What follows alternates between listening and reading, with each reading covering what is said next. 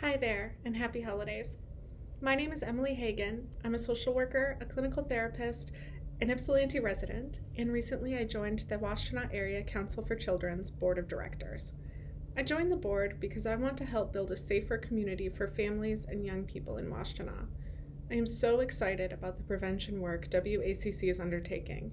It's foundational in making our community safer and stronger.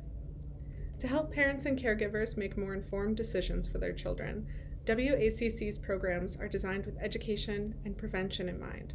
Just to name a few, we offer Safe Sleep program to help equip parents with the knowledge and skills to create safe, restful environments for infants.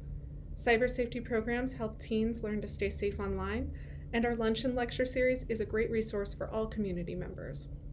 Our next lunch and lecture is focused on grief and loss and the ways kids and young people experience and are impacted by grief. This is such an important topic, especially now when we are all experiencing some degree of loss. I hope you can join us on Zoom on December 17th at 12 p.m. for this important lecture.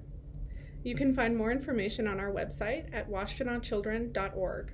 Lastly, if you're able, consider WACC when you're making financial donations this holiday season.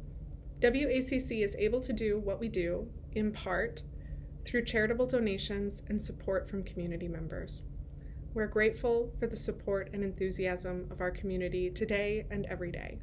Happy holidays.